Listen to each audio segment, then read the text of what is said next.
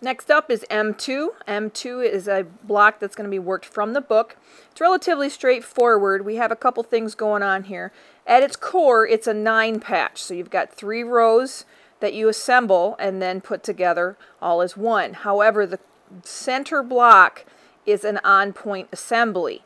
So pretend that this isn't here as we start here.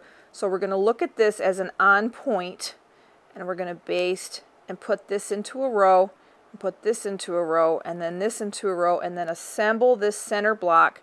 And then we're going to put the rectangles on each side before we do the corner triangles and the rectangle rows as well. So I have my block all set up. And we have arrow pieces. So the arrow pieces, we're going to baste the points first to give them the sharpest attempt and then we're going to do the side, the short sides, and then I do the long sides last. Uh, of course, this is just the standard square with two, you know, each opposite sides and opposite sides. The triangles here, I'm going to baste the, uh, the hypotenuse first and then the legs so that the tags go away so that it doesn't complicate this center um, assembly. When I get to these, I'm going to baste them, I'm going to put these down first and then this is going to be last so that the tags will go out so they don't interfere with this. So I am going to start with this center. I'm going to do this section here first. I'll do these three and then assemble them into a row. So I basted my pieces and you want to make sure that if you've got a directional fabric like I do that you don't mix up the locations. So I'm going to make sure that, yep, I've got straight there and straight there. So I will attach these into one row. So I've assembled my row and my fabric is going in the same direction. So the next thing I need to do is baste this center section and attach this into the next row. So I've basted my pieces for the next row, but I ran into a little bit of an issue because I have a directional fabric so let me flip this over to the proper side. This is this little square and I forgot which way was up because I marked it and so I need to flip this over and see. Okay, so this needs to go like this.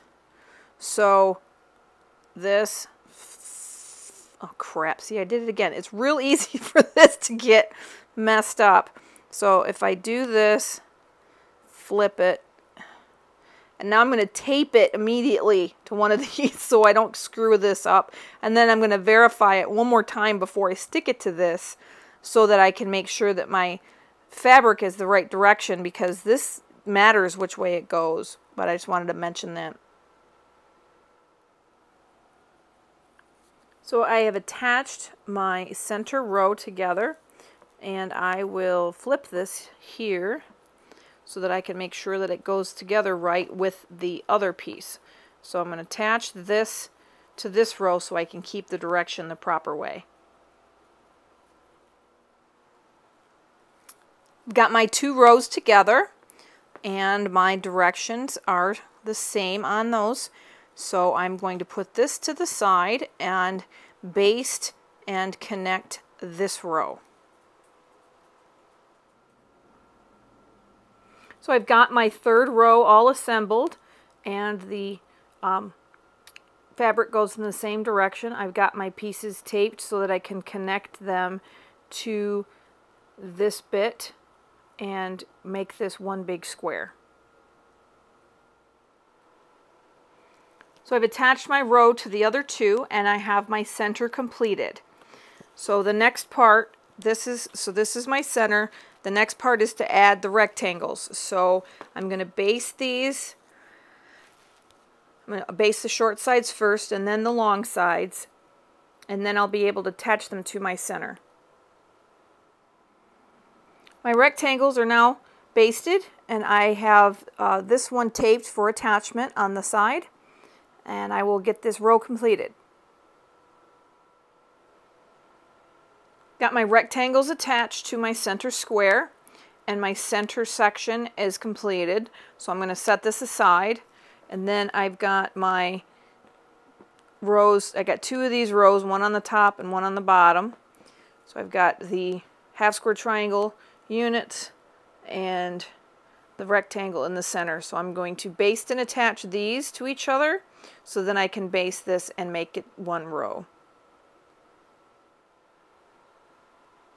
I've got my squares all sewn together and the direction on the fabric is correct for the position. So now I'm going to attach these to my rectangle and make the row. So I've got my bottom row all assembled and the direction of the fabric is still correct. I will attach this to the bottom of my middle row.